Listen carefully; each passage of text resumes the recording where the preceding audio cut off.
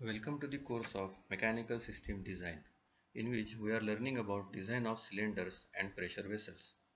In the previous lecture we learned about uh, how to calculate thickness of the pressure vessels, shell and various types of end closures. In this lecture we will learn design of openings in pressure vessels for which we are using area compensation method. Openings are provided in pressure vessel for various purposes such as for providing nozzles which are used for the entry of the fluid or delivery of the fluid. Manholes are provided in the pressure vessel for the maintenance purposes. Various accessories mountings are attached measuring devices are also attached to the pressure vessels and for which openings are created. Openings are created in the pressure vessel by removing some material from the shell of the vessel. This leads to loss of area which may weaken the pressure vessel. The loss in area has to be compensated by the excess area available either in the shell of the vessel or in the nozzle.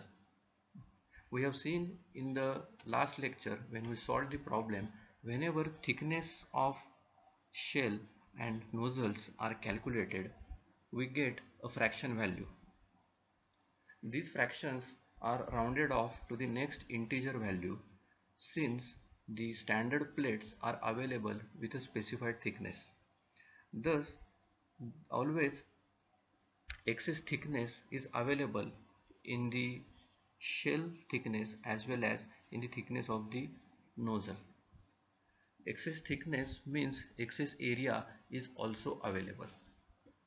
This excess area should compensate the loss of area due to removal of the material. If excess area is not able to compensate the area removed, then reinforcement pads are required to be provided so that the opening should not hamper the life of the pressure vessel. Let us see this figure and try to understand various terms which we will be using to understand area compensation method. This horizontal rectangle is the shell of a vessel. It is having actual diameter denoted by TS. It is the final round, final rounded off thickness of the shell. C is the corrosion allowance whereas TRS is the required thickness of the shell based on the strength calculations and whose formula is given over here as pi di upon 2 sigma allowable eta minus pi. You can recall that this is the same formula of thickness of the shell of a pressure vessel without corrosion allowance. So if you see there exists a blue area which is the excess area coming into the picture because of the rounding off of thickness to the next integer value. Such excess area is available in shell as well as in nozzle. Let us see few more nozzle parameters which will be required for calculation. Opening is created in this pressure vessel and a nozzle of internal diameter dn is mounted in this opening. Thus dn is the internal diameter of the nozzle in uncorroded condition whereas dnc is the internal diameter of the nozzle in corroded condition and its formula is given by dnc equal to dn plus 2c. Moreover, Tn is the actual thickness of the nozzle which is achieved from this rounding off the calculations whereas TRN is the required nozzle thickness calculated on strength consideration and its formula is given by a similar formula pi dn upon 2 sigma allowable eta minus pi. The only difference in these two formulae is the corresponding diameters used. Similarly, H1 and H2 are the height of nozzle outside the shell and inside the shell respectively.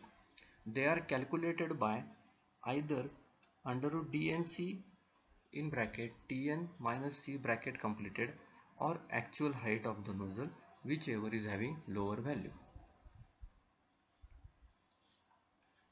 Let us see how various areas are calculated in area compensation method. First of all, let us see area removed in the pressure vessel which is denoted by AR and designated by red color in this diagram. It is a rectangle having width equal to DNC and height equal to TRS. Therefore, AR is equal to DNC into TRS now let us see excess areas are available as in shell denoted by A1 in the nozzle outside the vessel denoted by A2 in the nozzle inside the vessel denoted by A3 all these areas are rectangles and let us see their formulae. A1 is equal to 2dnc minus dnc into ts minus trs minus c where 2dnc is the boundary limit of providing reinforcement.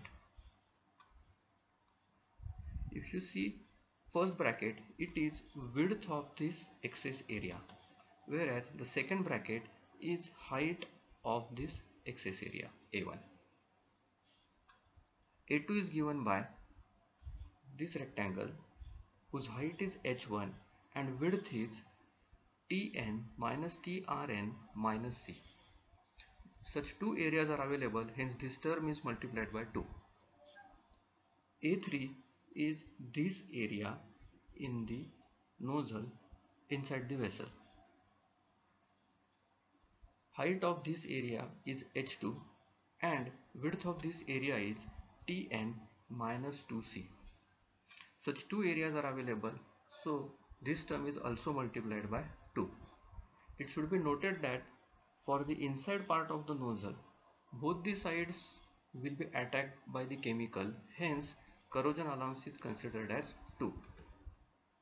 Now total excess area is addition of A1, A2 and A3 is calculated and it should be equal to or more than the area removed. If unfortunately area removed is greater than sum of excess area then this excess area is not completely compensating the area removed and additional reinforcement has to be used. The additional area is given by A which is difference between these two areas AR and total excess area. This additional area is shown by green color over here.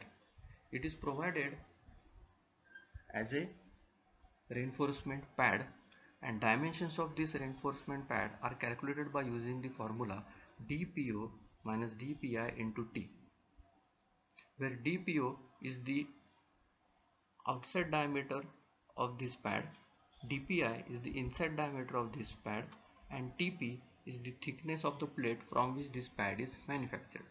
It can be noted that dpi is nothing but outside diameter of the nozzle and Tp is generally known as the thickness of the plate. Hence dpo is the only unknown to be calculated in this formula. Let us see one problem based on this. You can go through the problem statement